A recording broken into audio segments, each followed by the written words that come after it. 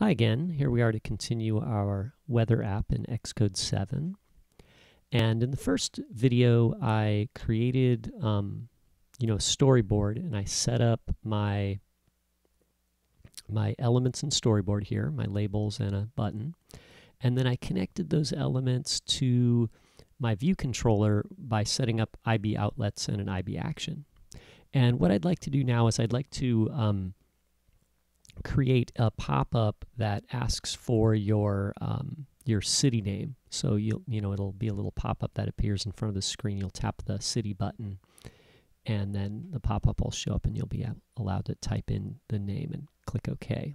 So uh, so anyway, so here's the action here: set city. And right now we just print this little thing to the terminal, but maybe we're going to add another function here. Let's say um, about open city alert. Okay, so I'm going to add a new function here. It'll go outside of these other functions, but inside the class. Okay, so the class starts at this curly brace and ends at the bottom one, and then each one of these functions is defined inside the curly brace for the code block, right? So this one's going to be its own right here, okay? So I'll put it here. And I'm, I'm, making this its own function. We could have written the code inside this IB ac action right here, but by putting it outside, then we could call it from anywhere. So maybe you want to open the pop-up without tapping on the button, right? And so to call on the pop-up from the button, what we'll do is we'll put the uh, we'll, we'll put a call to the function right here. So I'll just say open city alert, follow it with the parentheses, and that will invoke this function. Okay, so how do we open up an alert dialog box. So uh, what we're going to do is we're going to make an alert controller. Okay, so I'll start here with let alert equal. And what I'll do is I'll talk. I'll, I'll do a um, what is it? A UI alert controller. Okay, and there's a couple of these. You'll, there's an alert view and an alert controller. The alert view is the older one, and they've kind of updated it to this alert controller. So we're going to use the new one okay? And I'll hit the parentheses here. And then you can see there's a couple choices here for the alert controller, okay? And so what I'd like to do is I'd like to choose this last one that says um, UI alert controller um, title, string, message, preferred style, right? So we're going to choose that, okay? And for the title right here, this is going to be the title of the alert box, and it appears at the top of the box. So I'll say city. Okay? Um, and then over here, the message that'll appear in the box below the title, right? And so we'll maybe do this one as um, uh, enter city name. And then the preferred style right here can be one of two styles. And we, we're going to set the style to a, a UI alert controller style. Oops hit return there. Let's uh,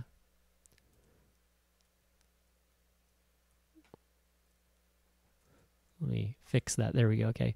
So I'm going to click on this and hit return, right? So I just want it to type UI alert controller style for me. Okay. And, uh, you know, if this is a little hard to read, you can put a line return here. Maybe I'll do that, right? So I want it to read like this. Preferred style is a UI alert controller style and then I'll hit the dot at the end of this. And then there's two styles that we can choose from. And you can see these two are, you know, UI alert controller style action sheet and UI alert controller style alert. So the action sheet is like, uh, it's hard to describe. It's one of those things that pops up from the bottom of the screen with a horizontal stack of buttons, right? Um, and then the the alert is the little dialog box that pops up in the middle of the screen and it can have buttons at the bottom okay? We're going to choose this one. And the reason we're going to do the alert rather than the action sheet in this case is that the action sheet doesn't allow you to add a text input field but the alert does. So we need to have an, an input field so you can type in the city name and the alert will allow for that. So we're going to choose that one just as a note, um, it, you know, we can type this whole thing out and I'll leave it like this, but you're actually allowed to leave that off and you can just do dot alert style, right, or alert, whatever the, the value is for this enum. Um, and that's kind of a shortcut there, so you'll see people do that. Um, so anyway, so there's our alert dialog box, right? And um, then to show the alert dialog box, what we'll do is we'll say self dot um, present uh, present view controller. Okay, so I'm going to just type self dot, and then I'll start start typing present, and then I'll you know it'll say presentation view controller or presentation controller, present presented view controller, presenting view controller, and then the very bottom one is present view controller. And then it's got view controller and animated and some other options there. So we'll choose this one and I'll hit return. And essentially what we did here is we made a special view controller that's an alert view controller. It's built into the system. And then we presented that view controller here with present view controller. Okay? And we're telling self because our UI view controller, that is the, the main class here, has the ability to present another view controller on top of itself, right? And that's what we're, we're asking it to do. So uh, right here where it says view controller to present, well, you know what we're going to do is we're going to type in alert because that's the name of the view controller that we want to present. And you'll notice that little warning that was here goes away. I think that was telling us that we had a variable that we defined that we hadn't used yet. So now we've used it, and so, so that warning goes away. And then the option here where it says animated, and it's a Boolean, this is a true or false, right? A Boolean can be true or false and it's just asking us like hey do you want to animate the presentation of, or when we present this view controller do you want to animate that process? I'm going to say yeah let's let's make an animated presentation there. And then completion this is a function like this looks a little weird here but essentially this is defining a function that returns void and receives no parameters and it's optional right and the function here can happen like when you're done presenting the view controller, do you want something to happen? And actually, you know, we don't want anything to happen, so I'll click on that to highlight it and then just type nil. Okay, so that'll just say, nah, we don't, we're not going to use that. Okay, and let's give this a test. So I'll, I'll, you know, click the play button here, build my project,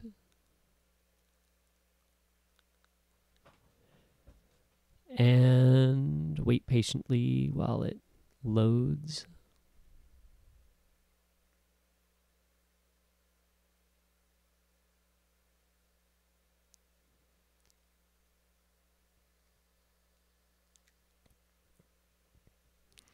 Any moment now. Oh, there we go, right. So now it's loading up in the simulator. Oh, there's our city right there. And then I'll click the button here, set city and then there's our our pop-up right? It says city that's the that's the um, the title. And then the text right here is the message enter city name. And then this is the style of um, you know alert controller okay? And you'll notice there's no way to close this right? We have to actually include some buttons right? So uh, so how do we do that? Um, so anyway there we go. And just for fun why don't we um, why don't we change this right here? I've got a, a UI alert controller style. I'm going to change this to action sheet just so you can see what the action sheet looks like. Um, and we'll test it again.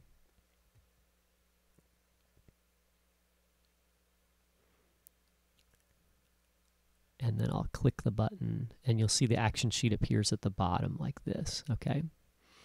Uh, so there we go. So we'll just stop. I'll just click the stop button there.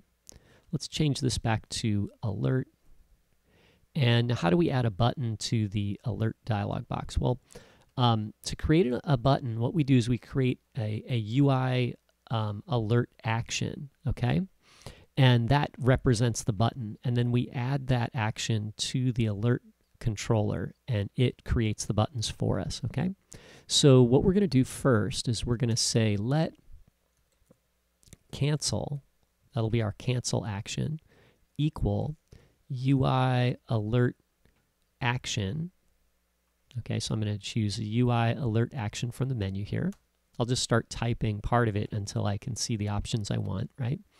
And then I'll start typing parentheses, and there's a couple ways to initialize this, right? It gives us the no initializer, or we can set these properties, right, of title, style, handler, okay? And I'm going to choose the second one here. And when I see all the stuff there, I'll hit return and it'll fill it in. And now for the title string, this will be our cancel button. So we'll we'll make it a string and we'll say cancel. And then, you know, you can hit tab to jump to these little areas where you got to fill in the text, right? Maybe I'll do this. I'll put this on another line here like I did on the other one. It'll be a little easier to read. So there we've got uh, style, um, UI alert action style, and I'll hit return there. And again, this is another of these enums, right? So this is like a name that represents multiple values. So I'll hit return so it spells out UI alert action style.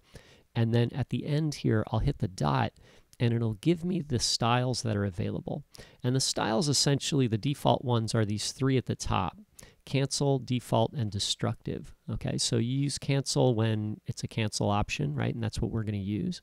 Use default for all other styles. And if the action could like delete a file or remove something permanently, use destructive.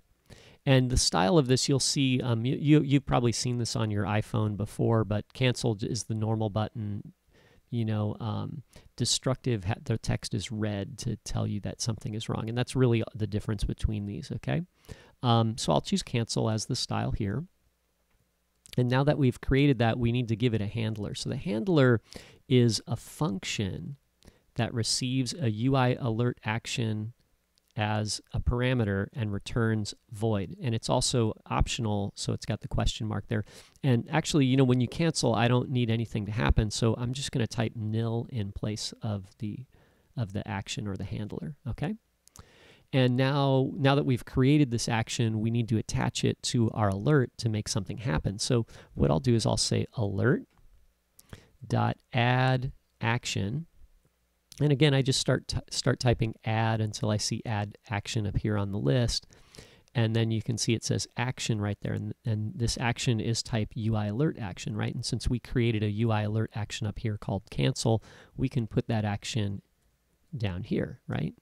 So I'll type in cancel and there we go. Now we've, and then that warning goes away telling us we hadn't used this variable yet. So, so there we go. We, we created a, an alert, you know, an alert controller and then we created an alert action and then we attached the alert action to the controller and then we presented the controller here okay let's give it a test now so I'll hit the button again uh, it'll build my app and there it is and I'll click the button here and now my dialog box shows up and it has a cancel button right and when I click cancel it closes the box okay so, uh, so that's working pretty good. Um, let's make another action. So I'll make a little more room down here. And I'll say let OK equal UI alert action, right? And so I'll just start typing the name until I can see it on the menu here and choose it.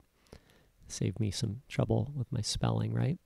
And then I'll hit parentheses, right? I just start typing the left parenthesis, and then it gives me the options here, and I want the second one title, style, and handler, right? And uh, so we'll do the title here of this button will be OK. And then the style is going to be another UI alert action style. And in our case, the style is going to be the default style for the OK button. Maybe I'll move this to another line like this, right? Okay. And um, for this one, when you hit OK, we actually want to do something. Okay, so so here's where we'll, we'll where we will use the the handler here. Okay. And this is a little tricky to type the syntax if you're new to this, um, but let me show you an easy way through this, okay? So, um, and, and again, don't mind this warning here because it's just telling us we haven't used this OK variable yet, but we're going to add an action and add the OK action right when we're done with this thing, okay?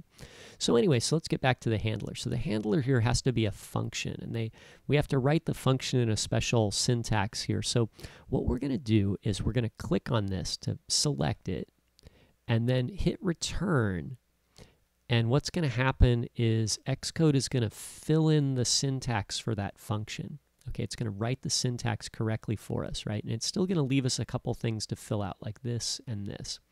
Okay? And uh, this is an, a, a UI alert action right there, and that's the type. But what we need to do is we need to replace this with a variable name, okay? And if you want, you can actually leave the type there. So what I did there is I, um, I just, I selected this item and then hit return. So it typed the name there and um, I'll just call it action colon, right? And I'm saying that the variable is named action and its type is UI alert action. And then this is saying the return type is void. In other words, this function doesn't return anything. And then in means that the code that this handler will execute is going to be here, right? So we'll just put some code here. Um, maybe we'll do print, you know, and we'll just say, um, okay, how about that? Right, so, uh, so that's done. So there's our action with the handler, okay? And the next stage is we want to, um, we want to add this action to our alert controller. So below here, I'll say, I'll just follow the same procedure I did above. I'll say alert dot add action. And then the action I want to add here is the OK action that we created just above it. Okay. And uh, then we'll test our project again. I'll click the play button. And then there's our app. And when I click set city, the dialog shows up and you can see I have two buttons here. Okay, and this is the cancel and that's the OK button. So I'll click OK and you can see it says it prints OK into the uh, into the console there. And you can open it up again or cancel it. Okay, here we'll do it a third time. Working pretty good. Okay, so anyway, so there you go. That's how it works. Here's a little note. If you have a third action, um, what'll happen is those buttons, instead of being labeled side by side, they'll stack up. Okay, so they'll be vertically stacked after the second button. Okay, just so you know. And anyway, there you go. You can experiment for yourself. And then we'll continue the rest of this in the next video. Thanks for watching.